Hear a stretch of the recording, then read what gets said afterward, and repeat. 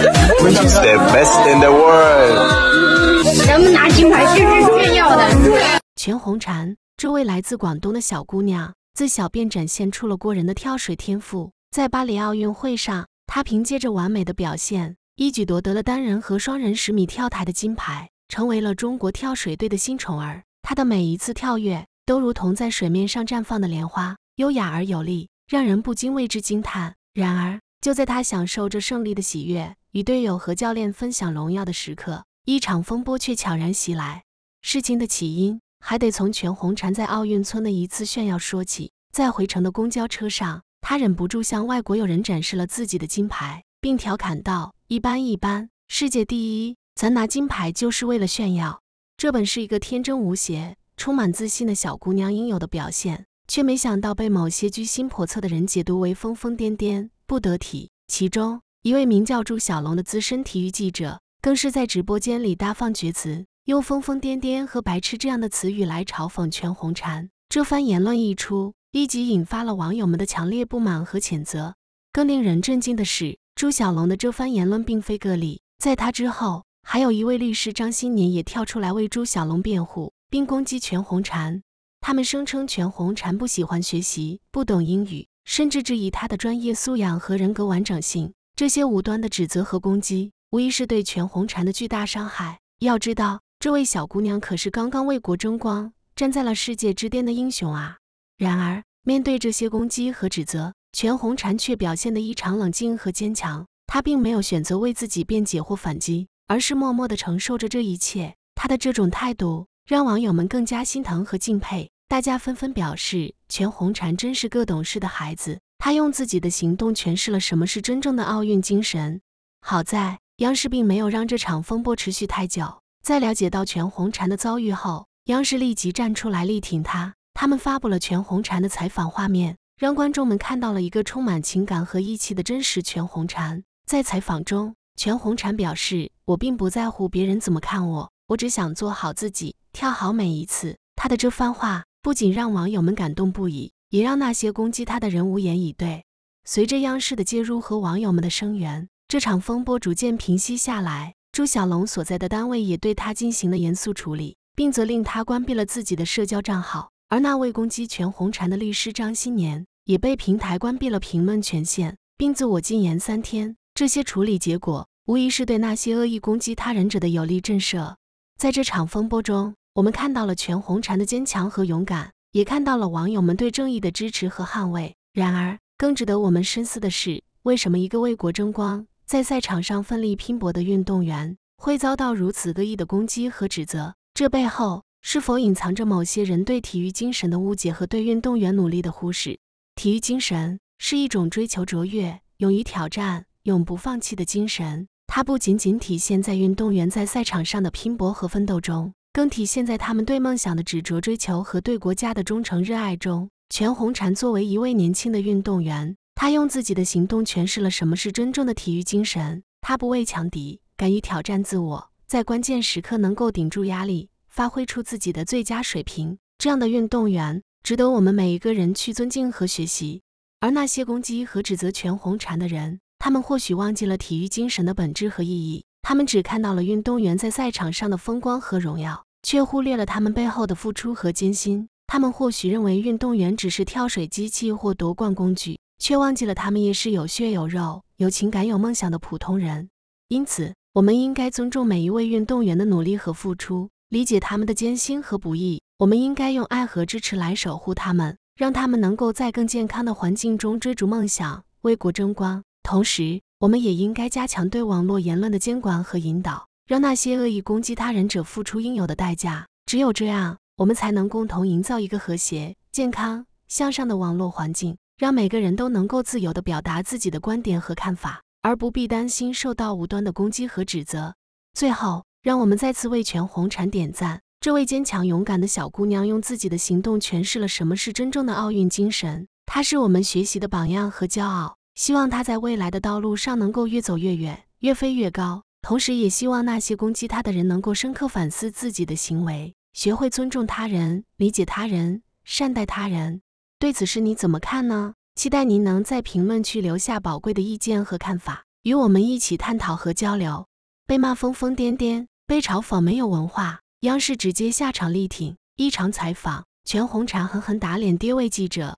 全红婵刚刚结束的巴黎奥运会上拿了两块金牌，就在大家为小姑娘欢呼的时候，突然蹦出来个叫朱小龙的记者，竟然用疯疯癫癫和白痴似的这样的词形容她，这事儿闹大了。朱小龙在各种社交平台上被网友们的评论刷屏了，全是些火辣辣的留言。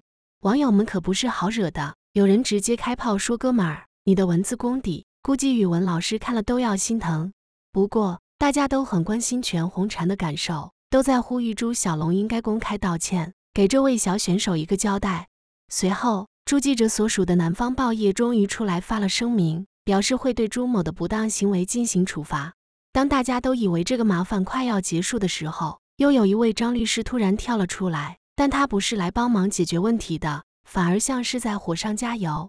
张律师支持朱小龙，说他的行为是好心却做了坏事，还提到了国家的体育制度，意思是培养运动员很不容易，他们身心都承受着巨大的压力。他的这些言论一下子让事情变得更加复杂和激烈，眼看着舆论愈演愈烈，平台见状迅速采取行动。朱小龙的微博账号遭到了处理，张律师的评论权限也被关闭了。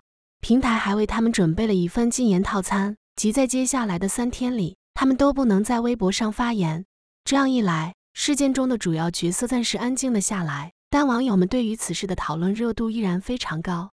就在大伙七嘴八舌的时候，全红婵亲自站了出来，接受了中央电视台的采访。小姑娘的模样镇定自若，说话有条不紊。那股成熟和责任感让人心生敬佩。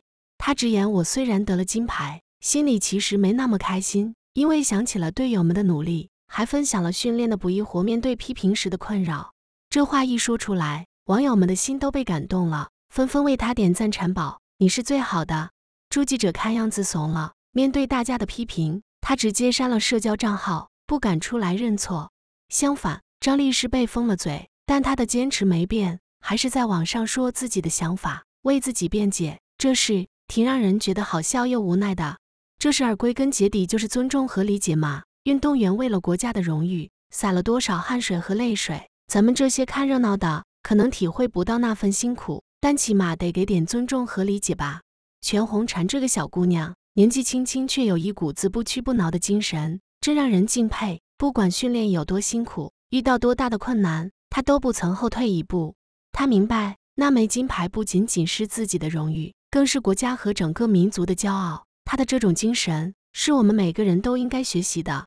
央视为全红婵发声啦！奥运冠军全红婵之前被人抹黑，称其是 B C 加疯疯癫癫，央视看不下去了，果断发布了全红婵和陈芋汐的相关采访。二人讲述了夺冠背后的艰辛和诸多内心感受，让大家看到了夺冠背后的诸多不易。也认识到全红婵不是网络上所说的没有文化、只会跳水的小姑娘。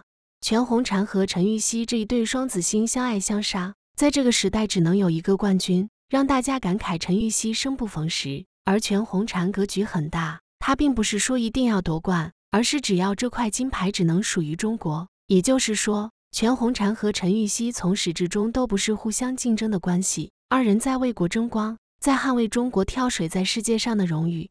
虽然作为运动员在文化上有所欠缺，大部分的时间都用在训练，可长年累月在公众视野中浸泡，还是让全红婵成长了不少。他对得失看得并不重要，即使被大家视作是天才，也根本不敢松懈，甚至在面对自己并不太擅长的二零七 C 上，还是会出现很多恐惧。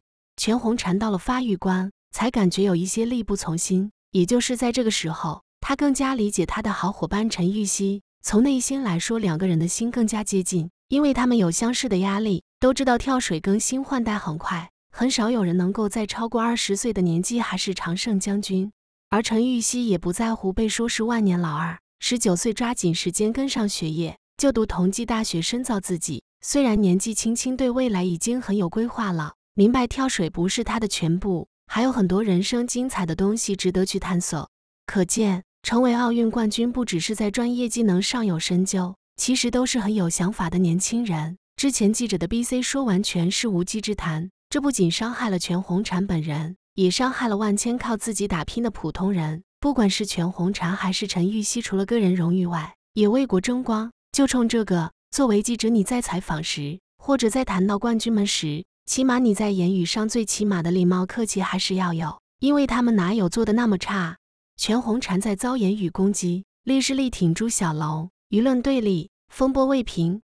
全文如下：言论风暴席卷体坛，奥运冠军遭遇言语攻击。在这个言论自由的时代，每个人都可以表达自己的想法。然而，当谈及公众人物时，我们更需要谨慎和责任。近日，十七岁奥运冠军全红婵遭遇言语攻击，引发轩然大波。这背后折射出的，正是我们对言论自由的认知边界。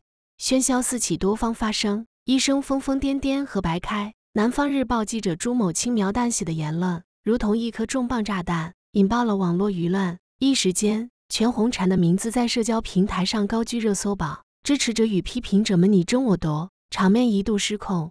支持者认为朱记者只是忠言逆耳，关心全红婵未来的发展，而批评者却认为这番言论太过伤人，完全失去了基本的职业操守和道德。复旦大学张教授、知名律师张新年等纷纷站出来力挺朱记者，呼吁大家要理解他的用意。然而，网友们仍怒不可遏：这孩子才多大就遭这罪，心疼！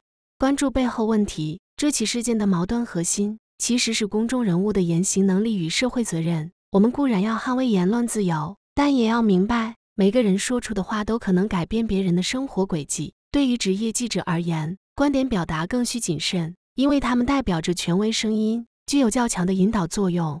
朱记者这番不当言论，无疑给全红婵带来了不小的伤害。但我们也要问，是否只要骂骂咧咧就能解决问题？作为公众人物，他们理应对自己的言行负责。张教授等大 V 的力挺固然出于善意，但恐怕难以消弭全红婵及其支持者的不满。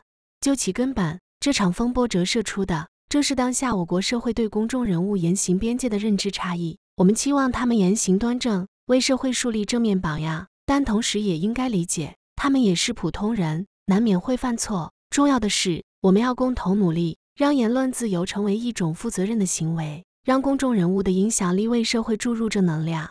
未来可期，珍惜当下。全红婵，一个十七岁的女孩，已经摘得两枚奥运金牌，这无疑是她这个年纪难能可贵的成就，凝结了她多年来辛勤努力的结果。但我们不能忘记。她毕竟还是一个青春期的少女，需要我们的关爱与支持。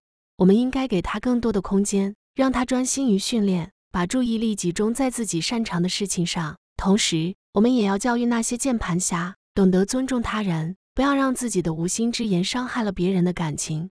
未来可期，但当下更宝贵。让我们一起为全红婵加油，为这个十七岁的冠军女孩撑腰，让她安心追逐梦想。与此同时，也希望每个人都能时刻谨慎自己的言论，用爱心和同理心对待他人，为这个社会注入正能量。毕竟，我们都是这个社会的一份子，每个人的言行都在潜移默化地影响着这个世界。以下为续写部分：言论自由有度，责任需担当。这场围绕全红婵的舆论风波，无疑引发了社会各界的广泛关注。有人呼吁要捍卫言论自由，有人则认为应该为公众人物的言行负责。事实上，这背后折射出的。正是我们对言论自由边界的认知差异。从朱记者的疯疯癫癫和白开言论看，他显然是过于草率了。作为一名资深记者，理当对自己的言论负责。然而，我们也要理解，在这个信息爆炸的时代，强大的社交媒体影响力使得每一个人都可能成为网红。这种一言一行皆可能成为头条的环境，无疑给公众人物带来了巨大压力。再看那些键盘侠们的言论，更是让人扼腕。无论是对全红婵的侮辱性语言，还是对朱记者的人身攻击，都已经严重超出了言论自由的边界。我们固然要维护好这一基本权利，但同时也要明白，言论自由并非法外之地，它需要有自律和责任的约束。近年来，针对公众人物的网络暴力事件屡见不鲜。有人认为，只要是公众人物，就应该对各种言论免疫，但这种观点是极其错误的。每个人的尊严都应该受到尊重。不应因为身份地位的高低而有所区别。